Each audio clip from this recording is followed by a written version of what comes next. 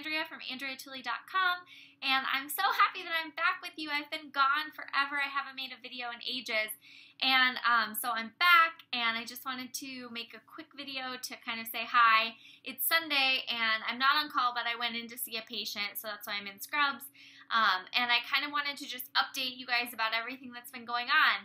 So, uh, some of you know, I think I made a quick video about this uh, the last time that I posted on YouTube. I've been studying for my big ophthalmology exam, and so once a year, the ophthalmology residents take an exam called OKAPS, which is the Ophthalmic Knowledge and Assessment. I don't even know what it stands for. That's probably bad. Uh, but, anyways, it's this big exam that we take every year, and um, sometimes those scores can be used for fellowship applications, which would be a subspecialization that you would go into after residency. And so, since I don't know exactly what I want to do in terms of fellowship and I want to keep my options open and be competitive, I really tried to study as much as I could for that exam. And so, really, I've been kind of off of social media and haven't been blogging or YouTubing at all for the last couple months because I've really been focused on OKAPs. And so yesterday was our test. It was 250 questions. They gave us five hours to take it. Uh, we all finished, all the residents took it, and we all finished um, in a, about four hours, a little over four hours. And then it was over, and we all went out and celebrated after. We went out to dinner with the whole program, which was really nice. And so now that it's over, we can finally kind of take a break from studying so much and just focus on, you know, being good residents and learning from our patients and not having to kind of focus on that book knowledge as much until next year rolls around and then we take it again next year. So you take the same exam every year. And so um, that's kind of been what's going on with me. I really have not been doing much besides just going to work and being a resident and then studying in all of my free time and then just trying to take care of myself and sleep as much as I can. Sleep is such a huge stress reliever for me, so I try to sleep a lot. Um, and trying to eat healthy. I honestly have not been working out very much at all, and so I'm excited to kind of get back in the gym and I'm dreading it because I'm going to be so out of shape and I'm going to be so sore. But I'm also excited about getting kind of a new workout routine and um, you know, spending more time in the gym since I've been spending so much time at coffee shops and here at my desk studying and really not doing anything um, physical for a long time. I mean, I still had like a couple workouts a week, but really not much. So, that's going to be exciting and new. Um, and otherwise, residency is going great. And I'm also really looking forward to kind of focusing more on YouTube and making new videos for you guys. I hear all of your requests, and I know you guys want to hear from surgeons. And so I'm working on a neurosurgeon, general surgeon, orthopedic surgeon, cardiovascular surgeon. Um, I think those are the big ones that you guys want to hear from. I'm working on OBGYN, I'm working on psychiatry, pathology. Um, those are some of your most requested fields. And so um, stay tuned for more interviews with different subspecialties and send me your requests and let me know what you want to hear from. And then also, I just want to apologize because you guys are amazing and you reach out to me in email and messages on Instagram and messages on YouTube, which I didn't even know that messages on YouTube were a thing until like a week ago, I randomly found this little message tab and I have all these messages from you guys, and I have no idea that even existed. So if you've been messaging me on Instagram or emailing me and I haven't responded, I'm really sorry. Um, I just have kind of put that on the back burner, but um, it, it's just so hard for me to respond to all of you. And so if I haven't responded, you can always try to email me again. Email is probably the easiest way um, to get in touch with me if you really want to. Or um, if you comment on Instagram, then I can comment back to you, no problem. I don't always get to my Instagram messages. That's just like a bottomless pit of messages, and some, and I get really behind on those. So that's not the best way. So if I've been ignoring you, I'm so sorry. And um, just if if you have like this burning question, comment on YouTube and I'll try to get back to you or send me an email. And then if you really want to chat, there's always the option to Skype with me, which you can find on my blog, andreatooley.com slash contact or under the contact section. You can find out more information about how to Skype if you really want to chat and I haven't been responding to your messages. I'm so sorry, but I appreciate you guys so much, and I love this little community that we have here. And so I hope that I'll be able to interact with you more now that I'm not studying as much. So, um, kind of, yeah, putting all that aside, and those are my big updates and things that I wanted to tell you. Um, a lot of people asked how I studied for OKAPS, which was my big board exam. And so um, I figured that since it's over, I can tell you what I did and tell you how I studied. Now, mind you, I don't have my score back yet, so I um, I don't. I, I'm always kind of like reluctant to preach about my study technique if unless I've done really well. Um, and so yeah, so I'm gonna say how I studied, but take this with a grain of salt because I could have done terribly. I don't know. I think I did okay, but uh, again, I don't know. Um, and then this would just be for ophthalmology residents to know what I did, but um, but if you're out there studying and you're in high school or you're in undergrad or you're in medical school, um, this is just kind of how I studied for this big exam. So OKAPS um, is the, our our ophthalmology board exam, and it's based on our um, series of books called the BCSC, which is the um, Basic and Clinical Science course. So this is one of the books. And so there are 13 books in the series, and our test is over um, anything that appears within these 13 books. And so anything in the books is fair game.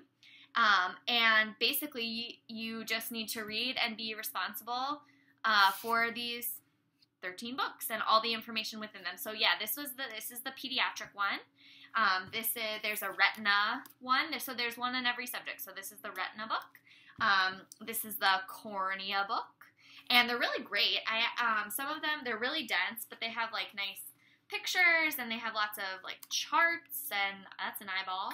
And um, there's another eyeball. Ooh, see all those defects in the iris? Very cool. Anyways, um, so th- this is all the information that we're tested on, these 13. So this is only three of the books. And so it's like a ton of information. And uh, so basically studying is just based out of reading these, but then I also used a review book. I used this one. Um, this is the Friedman. There's another really good review book by Chern that people seem to like a lot, but I used Friedman. And this is more kind of like first aid for step one. It's all very like bulleted, and um, I kind of like annotated it and put my own notes in there, and um, like wrote down my own things. And so this is another review book that I used. And then there's also a question bank online called OphthoQuestions, and I used that. I think there's 3,000 questions. I didn't get through all of them, but I got through a lot of them. And I really like to learn by questions, and so I tried to do as many of those as I possibly could. So that's one thing I did. And then basically, I tried to study every morning um, because the mornings work well for me, and that's um, just something you have to know about yourself. If you're a night person, study at night. If you're a morning person, study in the morning. And so I would study in the morning. And I made a lot of my little question sheets.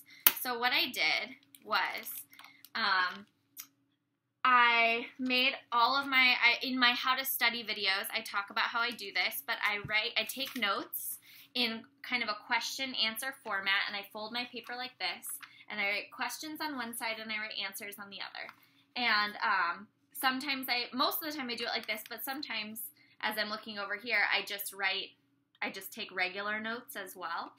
And so I did this on a lot of the chapters from those books that I showed you, but then also from my review book. I just took notes and I made these little sheets and then I separated them into categories um, based on whatever topic they were.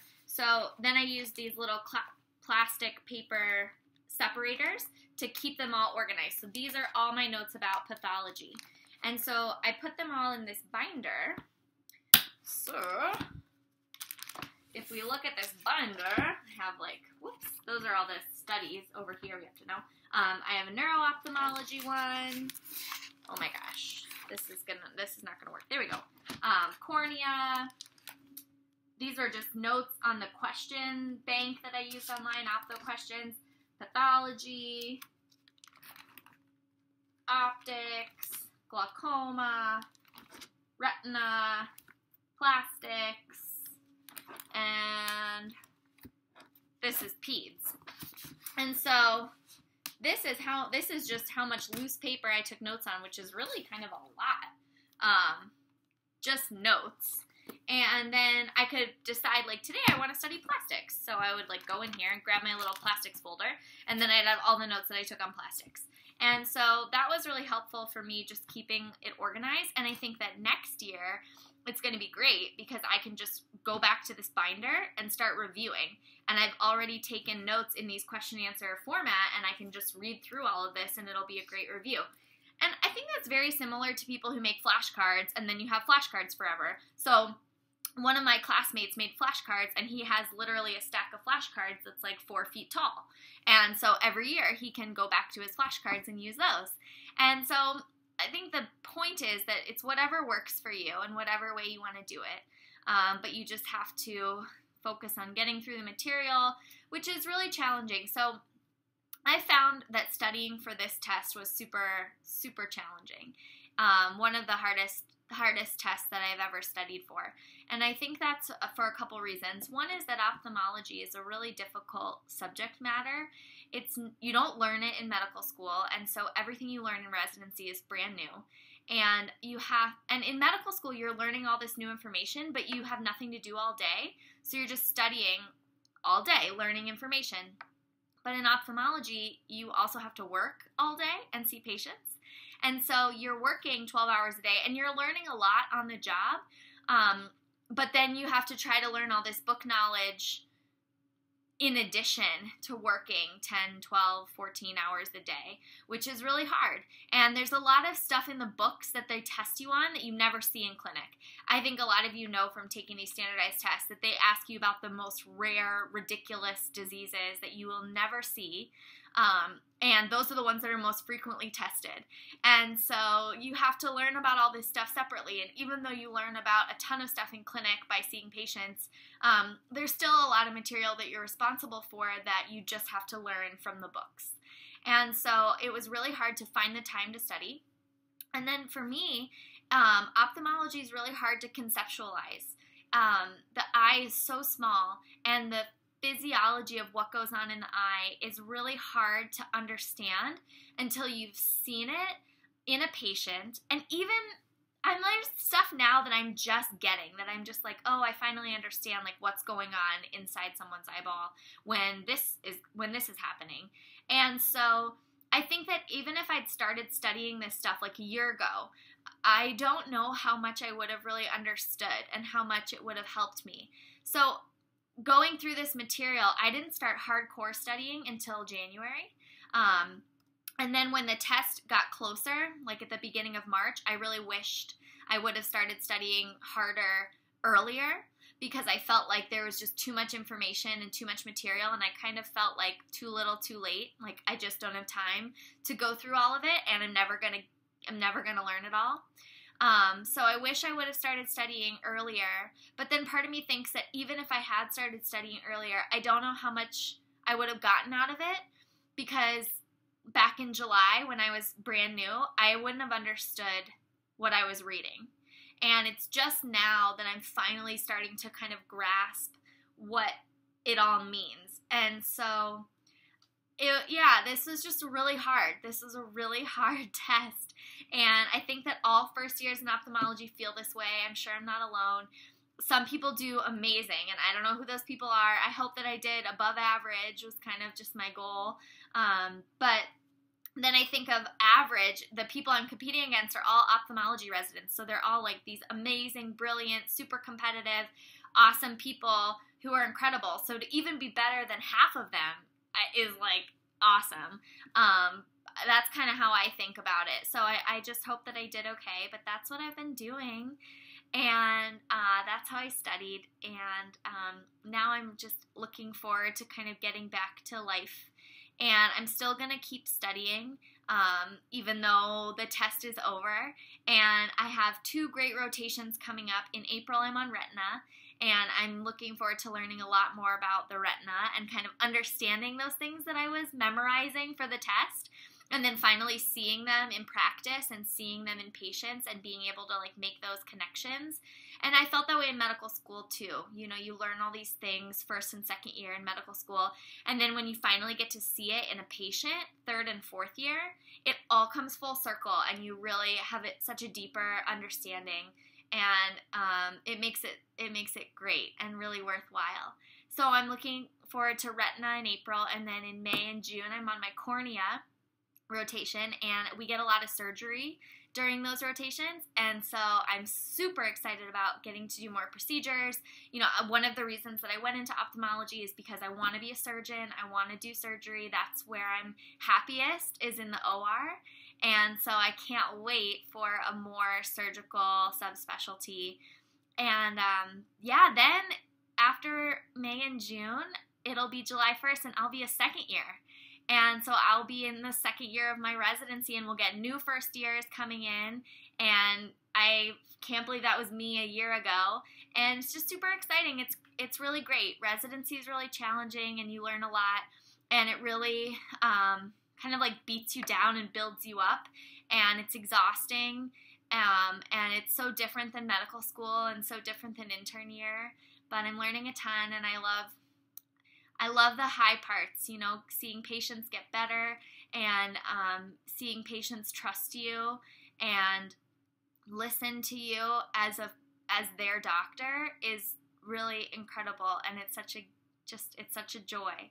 So everything is good and I'm glad to touch base with you guys. Let me know what you're up to. You know, it's getting towards spring break and finals and like the end of the semester or mid semester. So let me know what you're up to and um, look forward to more videos and more blogs and I'll be around more. All right. So thanks so much for watching. Talk to y'all later. Bye.